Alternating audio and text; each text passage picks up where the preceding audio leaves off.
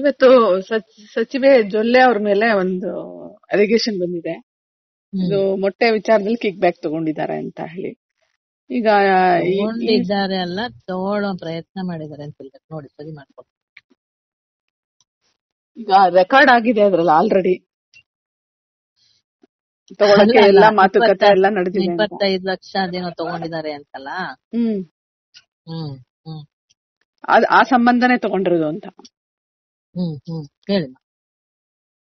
ಈಗ ನೀವು ಪ್ರತಿಪಕ್ಷದ ನೀವು ನೀವು ಮೊದಲಿಗೆ ಸಚಿವರಾಗಿದ್ದವರು ಆ ಏನು ಡಿಪಾರ್ಟ್ಮೆಂಟ್ ಅಲ್ಲಿ ಆಗು ಹೋಗುಗಳು ಸಮಸ್ಯೆಗಳೇನು ಮಹಿಳೆಯರ ಸಮಸ್ಯೆಗಳನ್ನ ಬಗೆಹರಿಸಕ್ಕೆ ಅಂತ ಹೇಳಿ ಶ್ರಮಿಸಿದವರು ಇದು ಯಾಕೆ ಹೀಗಾಗ್ತಾ ಇದೆ ಅನ್ನೋದು ನೀವು ಹೇಳ್ತೀರಾ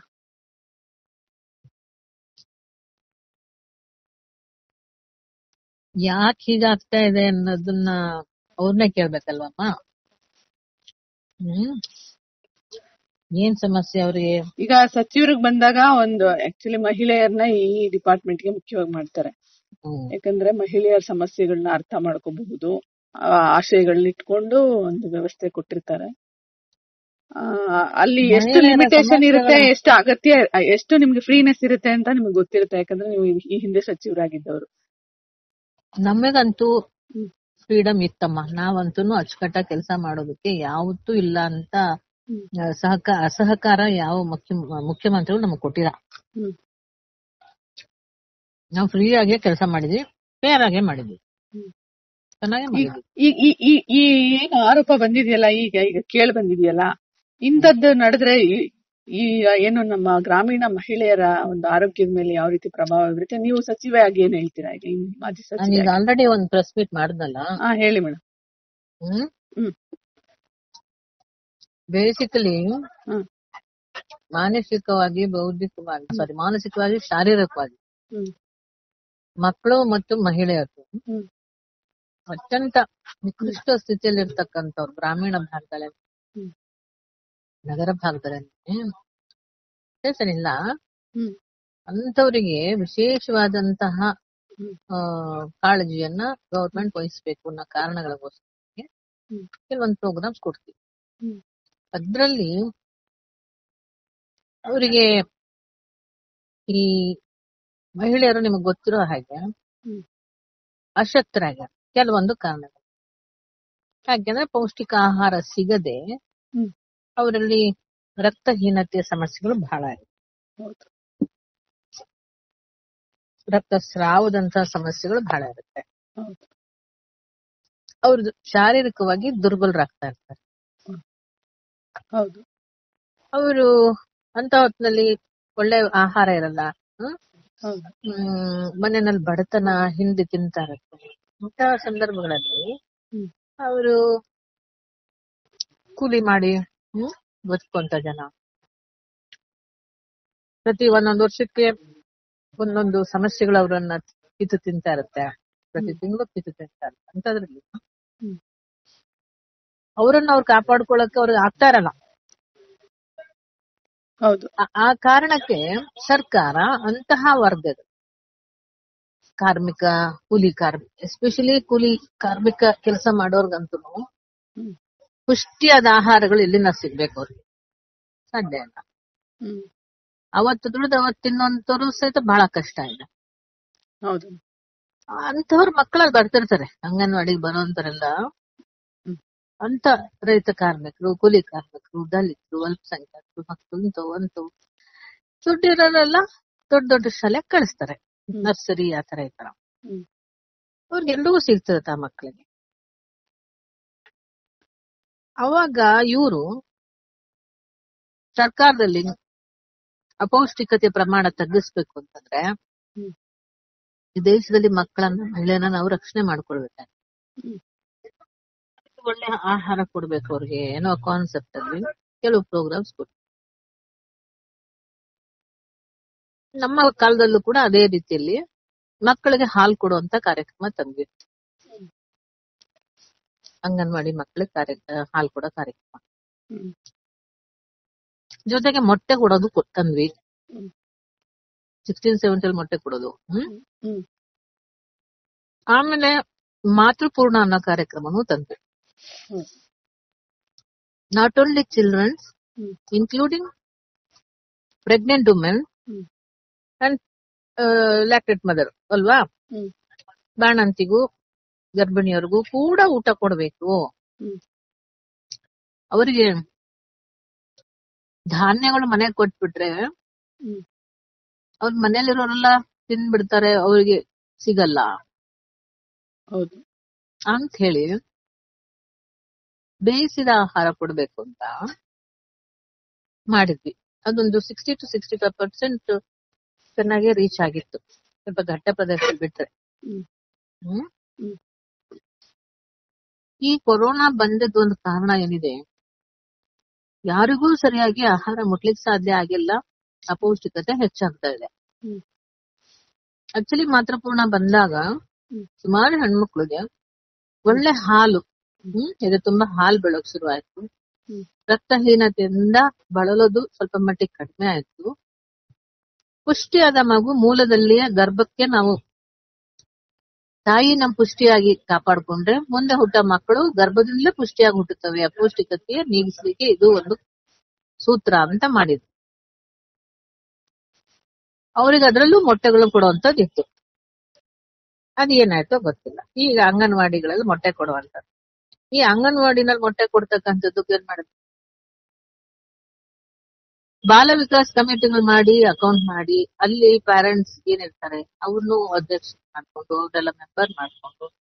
ಅಂಗನವಾಡಿ ಕಾರ್ಯಕರ್ತೆಯನ್ನ ಹಾಕೊಂಡು ಹ್ಮ್ ಅವ್ರ ಗಮನಕ್ಕೆ ಬರೋ ಹಾಗೇನೆ ಮಾಡಿದ್ರು ಐಡಲ್ ಏನಿಲ್ಲ ಅವ್ರು ಮೊದ್ಲು ಅಂಗನವಾಡಿ ಕಾರ್ಯಕರ್ತರಿಗೆ ಕೊಂಡ್ಕೊಳ್ಳೋ ಅಂತ ಅವಕಾಶ ಅಫ್ಕೋರ್ಸ್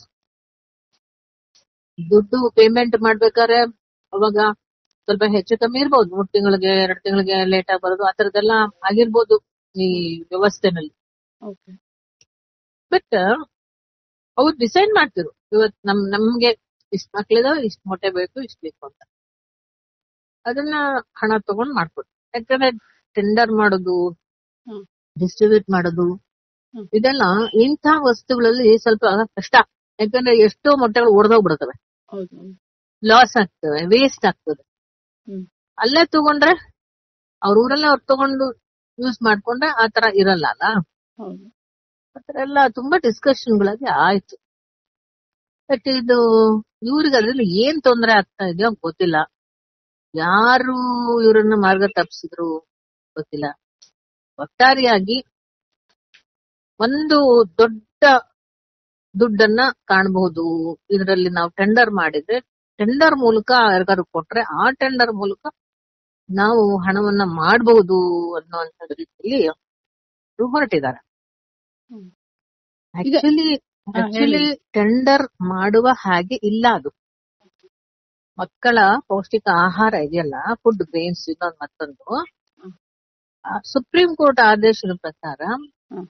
ಟೆಂಡರ್ ಮಾಡೋ ಹಾಗಿಲ್ಲ ಒಟ್ಟಾರೆ ಕಾಂಟ್ರಾಕ್ಟ್ ಒಳಗಡೆ ನುಸುಳೋ ಹಾಗೆ ಇಲ್ಲ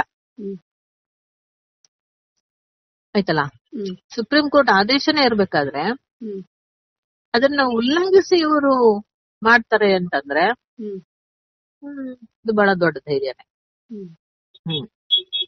ಈಗ ನೀವು ಸರ್ಕಾರಕ್ಕೆ ಏನ್ ಹೇಳ್ತೀರಾ ಮೇಡಮ್ ಏನ್ ಏನ್ ಒತ್ತಾಯ ಮಾಡ್ತೀರಾ ಟೆಂಡರ್ ಸಿಸ್ಟಮ್ ಎಲ್ಲ ತೆಗಿಬೇಕು ಆ ಟೆಂಡರ್ ಸಿಸ್ಟಮ್ ಗೆ ಹೋಗ್ಬಾರ್ದು ಇದು ಕಾಂಟ್ರಾಕ್ಟರ್ ಗಳಿಗೆ ಮತ್ತು ಭ್ರಷ್ಟಾಚಾರಕ್ಕೆ ಅವಕಾಶ ಆಗುವಂತದ್ದಾಗ್ತದೆ ಒಂದು ಎರಡನೇದು ಮಾಡಿರ್ತಕ್ಕಂತ ಇಂಥದ್ರಲ್ಲಿ ಭಾಗಿಯಾಗಿರ್ತಕ್ಕಂತ ಜೊಲ್ಲೆ ಅವರು ತಮ್ಮ ತಪ್ಪನ್ನ ಒಪ್ಪಿಕೊಂಡು ಸಮರ್ಥನೆ ಮಾಡ್ಕೊಳ್ಳೋದು ಬಿಡಬೇಕು ಮತ್ತು ಅವರ ಸ್ಥಾನಕ್ಕೆ ರಾಜೀನಾಮೆ ಕೊಡೋದ್ರ ಮೂಲಕ ಅಥವಾ ಮುಖ್ಯಮಂತ್ರಿಗಳು ಅದ ಸೂಕ್ತ ಕ್ರಮವನ್ನ ತಗೊಂಡು ಅವರನ್ನ ತೆಗಿಬೇಕು ಅದು ಸ್ವಯಂ ಪ್ರೇರಿತರಾಗಿ ಮುಖ್ಯಮಂತ್ರಿಗೆ ಹೇಳಿ ತನಿಖೆಗಾದ್ರೆ ಒಳಪಡಿಸ್ಬೇಕು ಇದು ಇದನ್ನ ಜನನು ನಿರೀಕ್ಷೆ ಮಾಡ್ತಿರ್ತಕ್ಕಂಥ ಯಾಕಂದ್ರೆ ಜನಗಳ ದುಡ್ಡಲ್ಲಿ ಇವತ್ತು ಇದು ಸಾರ್ವಜನಿಕರ ದುಡ್ಡು ಇದೇನ್ ಸರ್ಕಾರ ಅಂದಕ್ಷಣಕ್ಕೆ ಇದನ್ನ ನಮ್ಮ ಮನೆಯಿಂದ ಕೊಡುವಂತದ್ದಲ್ಲ ಇದು ಹ್ಮ್ ಯಾವ್ದೊಂದಕ್ಕೂ ಇನ್ನೇನು ಒಂದು ಅಕೌಂಟಬಿಲಿಟಿ ಅಂತ ಇರುತ್ತಲ್ವಾ ಹ್ಮ್